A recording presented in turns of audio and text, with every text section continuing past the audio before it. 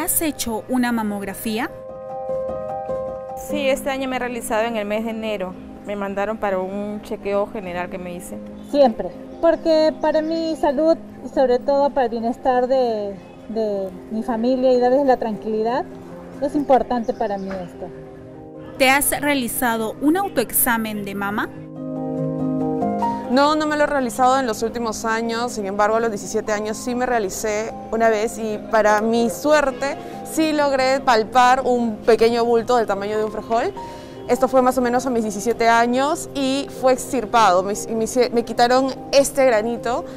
Tuve suerte al hacer el análisis, era benigno, no era nada malo, pero después de eso sí me quedó bastante el miedo de volver a palparme y encontrar nuevamente algo Ah, sí, bueno, lo, lo, he hecho un par de veces nada más, pero no es constante.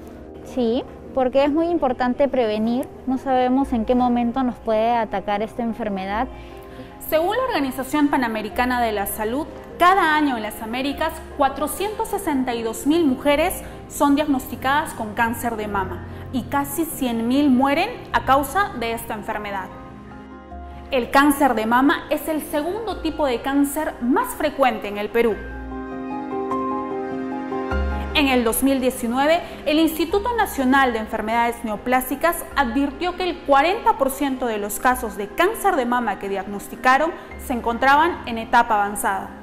¿Le recomendarías a otras mujeres realizarse una mamografía o un autoexamen de mama?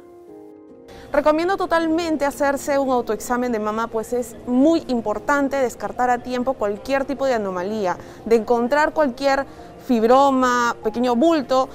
Es necesario ir al médico, se analice para poder saber si este es benigno o maligno. Sí, sí lo recomendaría porque siempre es bueno prevenir.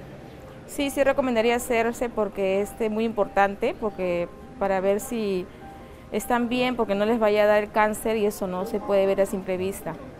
Claro que sí, la prevención es lo más importante porque si detectamos el cáncer a tiempo podemos salvar nuestra vida.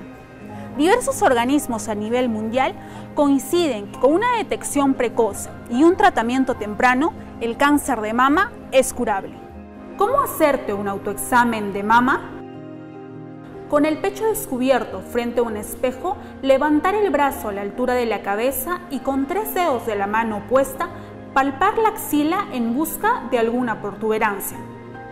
Seguimos y movemos los dedos de forma circular por alrededor del pecho con un masaje realizando presiones.